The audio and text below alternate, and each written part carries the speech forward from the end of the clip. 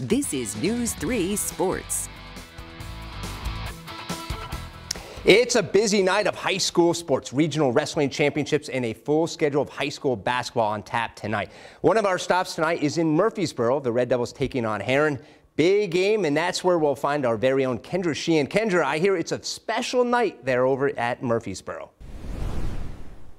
Hey, Jason. Yes, so I'm not by myself. As you can tell, I'm joined with two fantastic guests former head coach Tom Ashman and former assistant coach Doug Willard. They're here for the Hall of Fame event tonight. So today, Murphysboro is going to be taking on Herrin. Herrin leads in the River to River Ohio Division. Murphysboro tied for second. So this is a big game. But first, let's talk to our guests. So, what is it like being back in Murphysboro?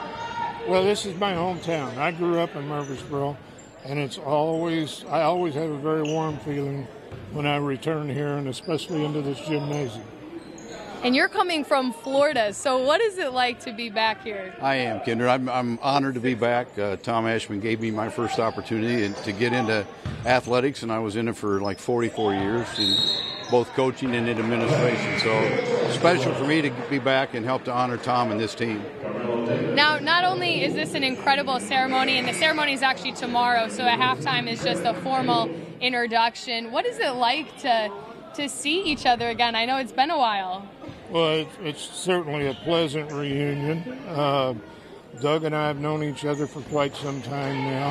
Uh, Doug was a great athlete at Carbondale High School. I was an athlete at Murphysboro High School. And as you probably know, Carbondale and Murphysboro's had somewhat of a rivalry forever.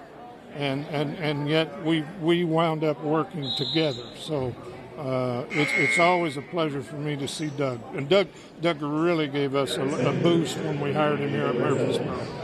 What's it like to see Tom again after all this time? Well, as I said, you know, he was a mentor to me and gave me my first opportunity to, to uh, get in coaching. I coached for 13 years before I went into administration, and you know, the work ethic that Tom had, and you could tell how much passion he had uh, around this game and around the players. It really gave me a great start.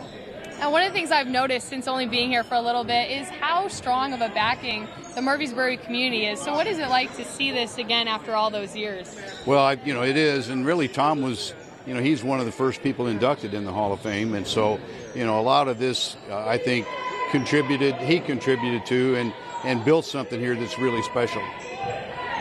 And how do you feel just being able to be back and seeing the same strong community connection here? You know, it's it's amazing to me what high school athletics can do for a community and to a community. There's there seems to be when you have success, it bonds people. There's a there's a bond that we have, and it brings people together.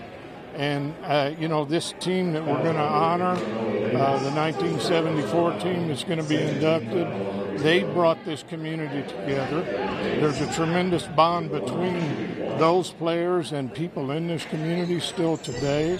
And, and you know, I'm, I'm just so proud to be a part of what happened here 46 years ago. Well, I don't want to cut you off, but we are all out of time. So be sure to tune in at 10. We'll have highlights and a full recap from this Murphysboro Herrin game. So for now, reporting from Murphysboro, thank you, Tom. Thank you, Doug. Kendra Sheehan, News 3 Sports, back to you in the studio. Thank you. Great job. Special treat. What a wonderful treat that was. And a couple of great guys, too. Thank you, Jason. Stay with us. We'll be right back.